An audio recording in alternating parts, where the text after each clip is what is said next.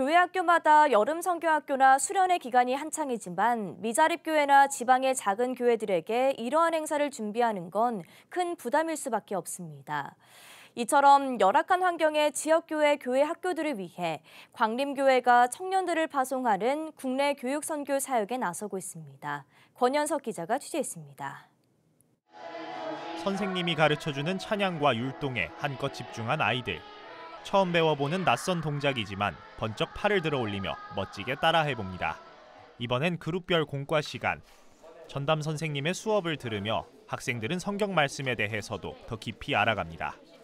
예수님이 3일 후에 깨어난 거 천사들이 얘기해주고 잘 기억해야겠다고 생각했어요. 소극적이었던 중고등부 학생들도 그룹의 자존심을 건 승부에 재빠르게 판을 뒤집습니다. 교회 안에 또래 친구가 부족했던 작은 교회 학생들이지만 오늘은 같은 지역의 또래 친구들과 한 팀이 됐습니다. 되게 많은 사람들이랑 같이 하니까 더 재밌고 좋은 것 같아요. 학생들이 은혜를 나누는 이곳은 광림교회 청년 선교국이 진행하는 국내 교육 선교 현장입니다. 자체적으로 여름 성경 학교를 여는 것이 부담되는 미자립 교회와 작은 교회들을 위해 광림교회는 매년 여름 교회 청년들을 전국 각 지역에 파송하고 있습니다. 코로나19 이후 부족한 재정뿐 아니라 교회 안의 청년 감소로 교회 학교 운영에 어려움을 겪었던 지역교회 사역자들에게도 큰 도움이 되고 있습니다. 지역교회에 이제 먼저 어, 청년 교사들이 굉장히 많이 줄었습니다.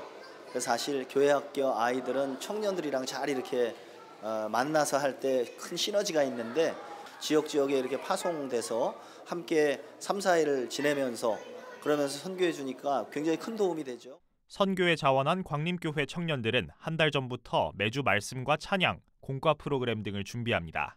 학생들이 풍성한 은혜를 누리는 시간이 되길 바라며 물품과 간식 준비에 자비량으로도 헌신하고 있습니다.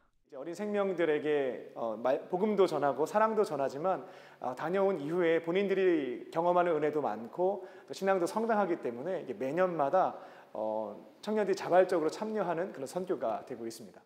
광림교회 청년 선교국의 국내 교육 선교는 올해로 16회째 이어져고 있습니다. 교회 장년들도 매년 후원으로 손길을 보태며 청년들의 헌신에 동참하고 있습니다. 광림교회가 그래도 감리교원에서 큰 교회고 제일 큰 교회고 그런데 저희가 받은 은혜와 사랑을 또 저희의 노하우를 좀 미자립 교회, 좀 아직 부족한 교회 나눠주고 또 가르쳐주기 위해서 올해 국내 교육 선교는 지난달 24일부터 시작해 오는 9일까지 전국 15개 지역과 120개 교회, 1,200명의 학생들을 대상으로 진행됩니다. 광림교회 측은 앞으로도 지역 교회들의 교회 학교 회복과 다음 세대 부흥을 위해 국내 교육 선교를 이어나갈 계획이라고 밝혔습니다. 구티비 뉴스 권현석입니다.